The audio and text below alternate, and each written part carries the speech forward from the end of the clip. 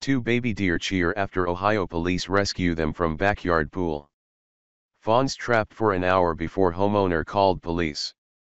Rutting season typically doesn't start until October, but these deer have already been flirting, with danger. Police in Parma, Ohio, rescued two fawns from a backyard swimming pool where they'd fallen and become trapped for more than an hour on Sunday.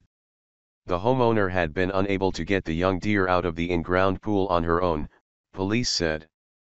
Body camera video the police department shared on Facebook shows how officers were able to wrangle the animals using nets and pull them from the water. The deer then ran off. The deer were tired, but happy, as you can hear them let out a cheer of appreciation after being rescued, police wrote.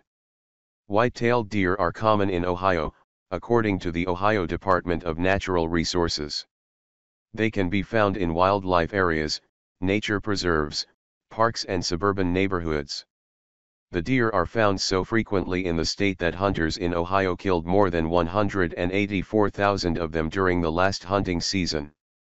Fawns are usually born between May and July after a mating period that starts in mid-October, according to state wildlife officials. A doe can give birth to two or three fawns per litter. The fawns will leave their mother after about 10 to 12 weeks. Deer can actually swim, and there have been cases where they've been found to be strong enough swimmers that they have been moving against a strong river current or in the ocean near the coast. But the fawns that found themselves unable to get out of that pool Sunday would be just a few months old. There are ways to deter wildlife from getting into a pool. Poolman, a swimming pool service company with offices in four states, recommends precautions like a fence or automatic sprinkler to keep animals away. Utah State University has also suggested using a homemade repellent to keep wildlife away, such as a recipe with onion, jalapeno, and cayenne pepper mixed in water and sprayed in areas near the pool.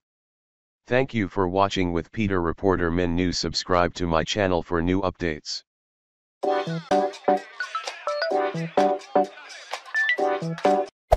Hey there. Subscribe to my channel. And also press this bell icon.